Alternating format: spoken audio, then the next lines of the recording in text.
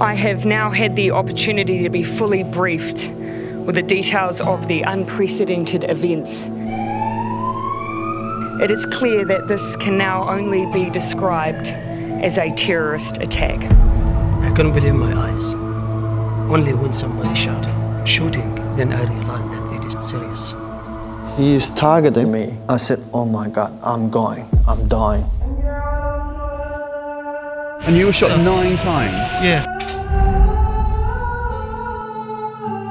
And there you were seeing the man accused of doing that to you. Yeah, I'm feel? strong. I told you, kia kaha, what in New Zealand they say, stay stronger, and we are.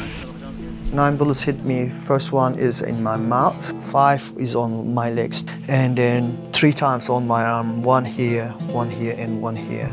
Some munitions are known as hollow point. They're designed to cause as much tissue injury as possible. I didn't deserve what he did. I didn't deserve this all pain. But I shouldn't be complaining this. I should be patient. All that pains, all that angers, all that upset and crying, all tears, because of one reason. This is my test. It's not easy. This will live in the memory.